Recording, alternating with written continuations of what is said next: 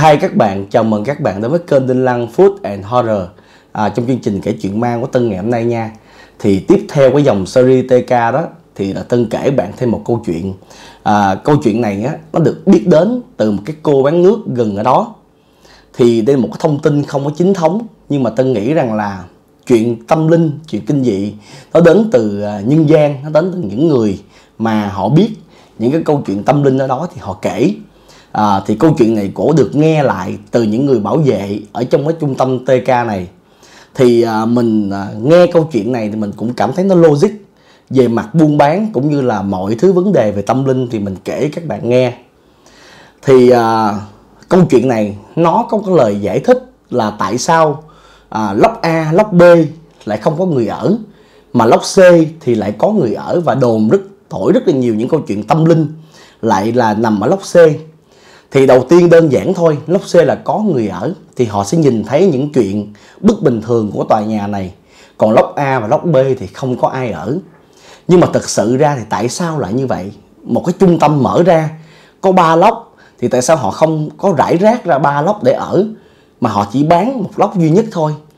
Tại vì bạn mua nhà, bạn có quyền lựa chọn chứ, đúng không? Bạn có quyền lựa chọn ở bên lốc A, lốc B hay lốc C, đó là quyền của mình. Chứ mình không thể là bạn bỏ một số tiền ra bạn bị quy định ở trong căn nào, ở nhà nào thì đó không phải là nhà bạn ở nữa. Mà giống như là bạn bị đi thuê nhà mà người ta muốn bạn ở đâu, bạn ở đó. No, thời điểm đó người ta cũng biết chọn cái nơi nào để người ta ở.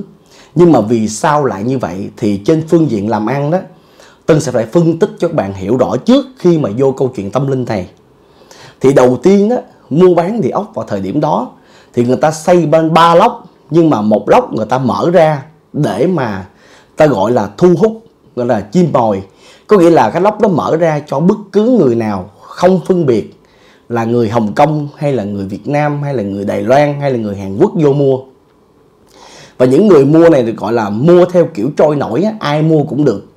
Thì khi họ vô họ mua họ phải đặt cọc trước 50% khi mà giao nhà họ đặt cọc 50% còn lại thì họ được vô ở.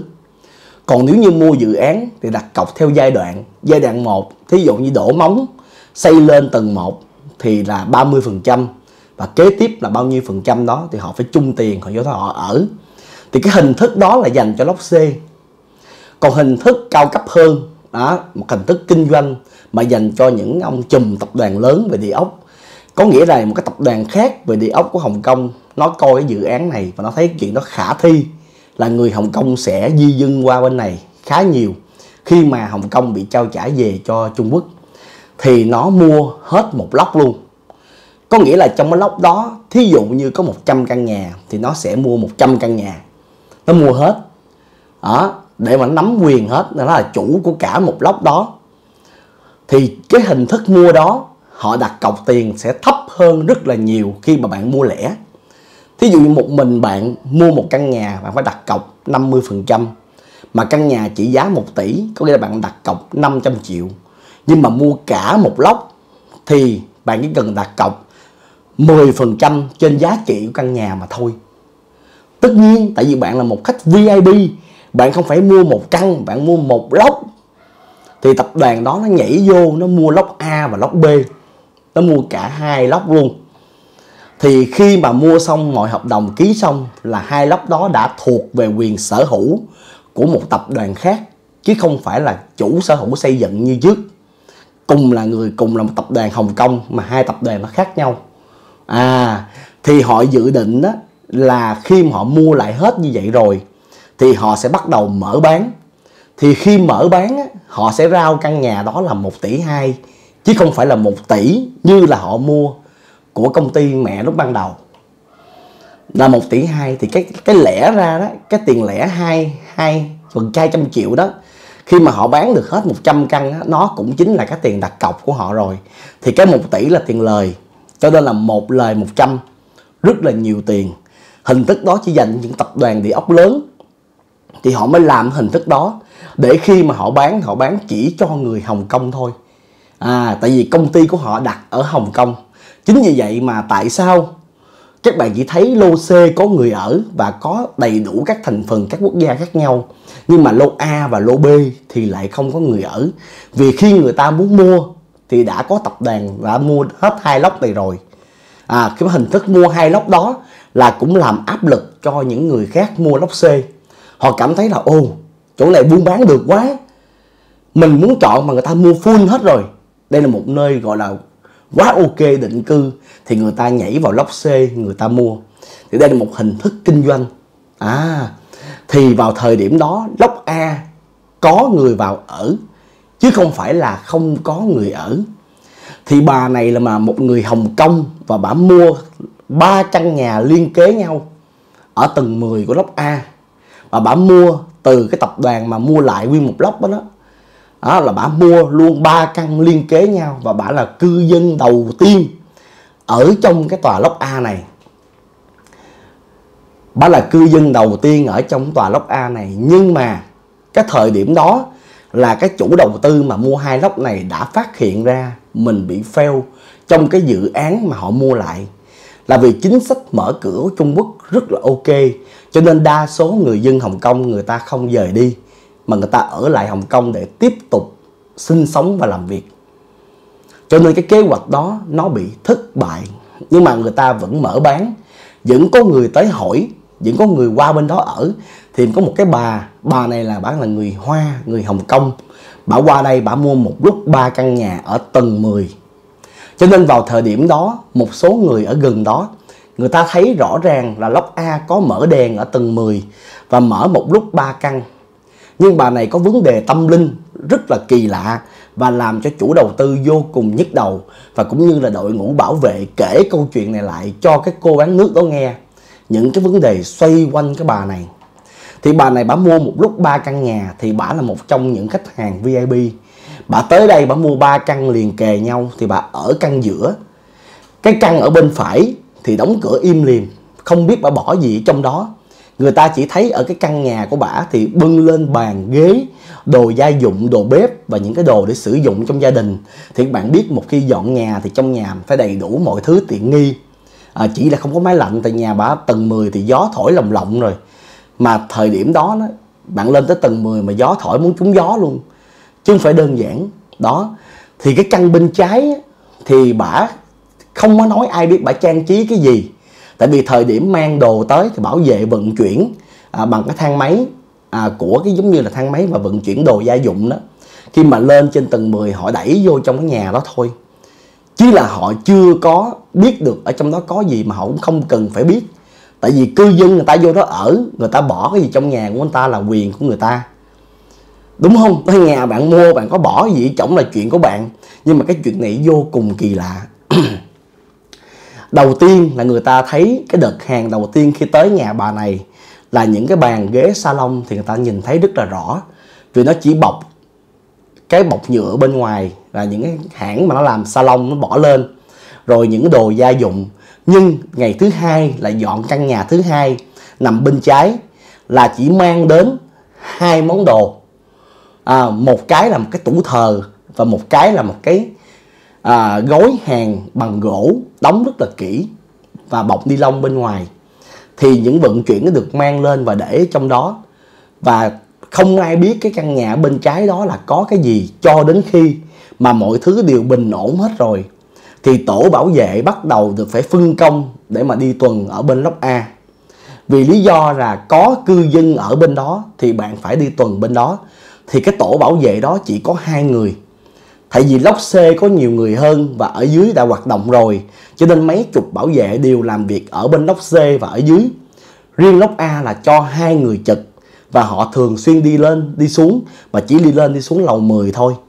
Để coi bà này có cần cái gì hay không để hỗ trợ. Và họ được nhận một cái tin là sắp tới có rất nhiều người bên Hồng Kông sẽ qua đây ở chung cái lầu 10 và lầu 9 ở phía dưới. Cho nên bắt đầu họ làm việc và họ quản lý ở bên đó thì hai người bảo vệ này vào lúc 12 giờ đêm thì họ thấy bà này làm những chuyện rất bất bình thường. Đó là bà bận bộ đồ màu trắng như là đồ tan bà đi qua căn nhà bên trái bà mở cửa bà vào trong đó. Bà làm cái gì không biết nhưng mà khói lan ra từ cửa sổ rất là nhiều. Thì người ta sợ cháy người ta mới gõ cửa cái cái cái, cái nhà của bà. Thì bà mở cửa ra ta hỏi là cô đốt cái gì trong đó vậy? Tại vì cô muốn đốt gì cô phải đi xuống đường cô đốt, chứ không thể đốt ở trong nhà như vậy. Thì bà nói đây là một trong những cái phong tục bình thường của người Hoa, và bà đốt ở ngoài hành lang, chứ không phải đốt ở trong nhà. Nhưng mà vì giấy tiền vàng bạc nhiều quá, cho nên nó bị bốc lửa hơn so với bình thường. Thì mong rằng là cái hệ thống bảo vệ họ thông cảm giùm. Thì hai người bảo vệ này đó, họ nhìn vô, thì họ chỉ nhìn thấy được cái nhà trống rỗng và ở ngoài hành lang đúng nghĩa là có một cái à, xô bằng sắt đó mà người ta thường hay đốt với tiền vàng bạc. Các bạn cũng thấy người nhà mình hay đốt vào những năm những cái tháng mà à, người âm đó tháng cô hồn đó thì người ta đốt. Đó thì họ nhìn vô thì họ cũng phải thông cảm. Tại vì bà này là cư dân đầu tiên của lốc A. Và bà mua một lần ba căn là VIP thì họ không thể nào mà họ làm gắt cái chuyện đó lên được. Và họ nghĩ rằng xung quanh lốc A cũng không ai ở cho nên là đây là một trong những cái chuyện bình thường thì họ mới gọi về lại bộ đàm cho cái hệ thống quản lý chung và nói rằng là bà này bà đang đốt với tiền vàng bạc thì ai cũng biết hết đó. người hoa họ có rất nhiều cách họ cúng kiến căn nhà của mình và bà có ba căn thì bà có quyền bà cúng thôi đâu ai được nói cái gì hết đó. đó, cho nên là mọi người bình thường, không có chuyện gì xảy ra thì bên hai người bảo vệ đó lại đi xuống nhưng mà nhắc nhở bà là khuyên bà là nên đốt à, như ít thôi và đốt từ từ và nhớ là phải đổ nước cho thật là sạch sẽ. Đừng có để bị lan qua những lốc khác thì người ta sẽ kiện. Thì đây là một cái lời nói giống như là nói xạo để cho bà sợ rồi bà dập lửa rồi họ đi xuống. Thì từ cái giây phút bà đốt cái giấy tiền vàng bạc đó đó thì những đêm sau hai người bảo vệ này đó thường xuyên nghe tiếng con nít cười giỡn họ chỉ nghe một tiếng bé trai thôi mà cười giỡn, thường xuyên trên cái dãy hành lang lầu 10 thì họ lại phải đi kiểm tra. Không có ai kiện hết, thì không ai ở ngoài bà này hết á, cho nên họ đi kiểm tra. Thì họ lại không thấy con nít. Đó thì họ phải gõ cửa nhà bà tiếp. Tại vì trong cái dãy đó chỉ một mình bà ở thôi. Thì mới hỏi bà rằng là, ồ, bà có dẫn con cháu gì lên đây chơi không? Thì bà phải thông báo lại để chúng tôi biết để lỡ như mà nó đi chơi ở cái khu vực này đó mà nó bị lạc á hay là bị kẹt bất cứ nơi đâu thì thì là rất là phiền toái cho ban bảo vệ. Tại vì cái lồng cái lốc A này là chỉ có một mình bà ở thôi. Cho nên nếu như có con cháu gì đó lên chơi mà tụi tôi không thấy hay không biết thì bà nhớ báo lại để tụi tôi phục vụ nó tốt hơn. Thì bà nói có đó là con trai của bà.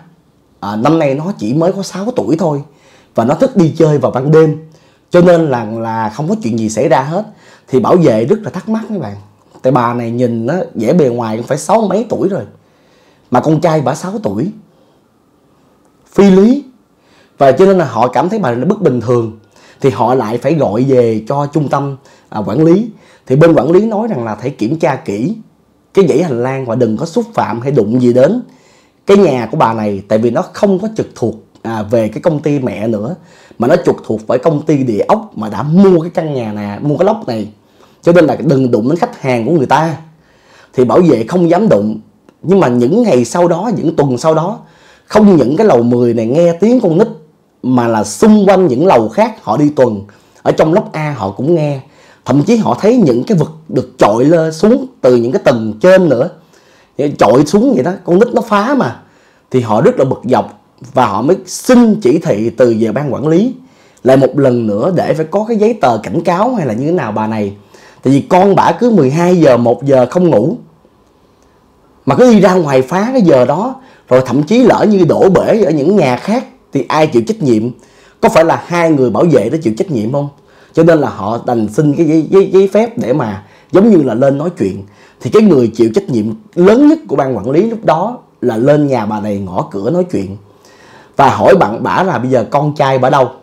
Để ra cho họ nói chuyện. Thì bà mới nói nó ở nhà kế bên. Bả mua ba căn nhà. Cái căn đó là bả ở. Cái căn kế bên bả mua để tặng của hồi môn cho đứa con trai của bả. Nhưng mà đứa con trai bả mới 6 tuổi. 6 tuổi tặng của hồi môn gì phải giữ nó ở bên nhà của mình chứ? Thì họ mới nói bà này là có thể bà là người có tiền. Nhưng mà bà nên nói chuyện với nó như thế nào và không cho nó ở một căn nhà như vậy. Tại vì có lan can nếu như lỡ nó leo ra ngoài nó nhảy xuống hay gì đó là rất nguy hiểm. Bà phải dẫn nó vô nhà khi nào nó lớn nó đủ nhận thức thì bà mới cho nó ở riêng được. Đó thì họ giải thích như vậy. Thứ nhất là một phần nữa là cái tiếng hoa của người quản lý đó với bà này nó cũng hơi bập bẹ với nhau. Thì bà mới qua bà mở cửa căn nhà cái bên thì các bạn biết không? Những gì họ thấy không phải là một căn nhà cho người ở mà là một cái bàn thờ à, tan tóc và ở trong đó một cái hòm nhỏ. Một cái hòm con nít cái điều này mới là điều nổi da gà mà khi tân nghe câu chuyện này, đó là một cái hòm con nít. Tức có nghĩa con bà đã chết rồi. Bà mua căn nhà đó cho đứa con để của hồi môn. Của hồi môn đó là cái gì? Khi mà đứa con 6 tuổi đâu có còn sống nữa đâu. Con bà đã chết rồi. Chính như vậy mà ban quản lý rất là sợ mấy bạn. Họ rất là sợ bà này và họ muốn kiểm tra luôn căn nhà bên phải. Vì căn nhà bên phải người ta không biết bà bỏ cái gì ở trong đó cho nên là người ta muốn kiểm tra nhưng mà bà không cho kiểm tra. Mà ban quản lý lúc này họ gọi về công ty mẹ đâu có được. Cái điều kiện mà liên hệ đôi bên á, nó rất là khó mấy bạn. Họ không thể nào họ liên hệ được thì sáng hôm sau họ mới liên hệ. Chứ họ không có quyền đột nhập vô nhà người khác. Vì cái nhà đó là nhà của bả bả có để cái hòm ở trong đó thì cũng là quyền của bả không có ai có quyền nói bất cứ điều gì đây là một cái chuyện mà chúng ta lần đầu tiên mới nghe đúng không? Chúng ta cứ nghĩ người ta mua nhà mà để cái hòm như vậy á, là rất là xui xẻo hoặc là chúng ta sẽ đi báo công an hay chúng ta làm cái gì đó. Nhưng mà đây là một cái nhà của người ta như nhà của bạn. Bạn muốn để cái gì ở trong đó là bạn để trừ khi là thuốc nổ hay là súng ống thì không được thôi. Còn cái hòm mà trong hòm nó có cái gì thì không ai biết. Đó thì ban quản lý họ rất cân nhắc để sáng hôm sau họ mới nói đơi gọi là cái công ty mẹ. Và họ xin phép đại diện của công ty mẹ cái công ty mà đứng ra chịu trách nhiệm á, mà bán cái nhà cho bà này đó để mà gọi chính quyền lên để khui cái hòm ra để coi trong hòm có cái gì. Tại nếu trong hòm có xác á, thì là bà bị buộc vào tội xử lý thi thể. Không đúng. Thì hôm sau khi mà được mọi cái giấy phép cho phép thì mới lên chỉnh trình cho bà coi và qua mở.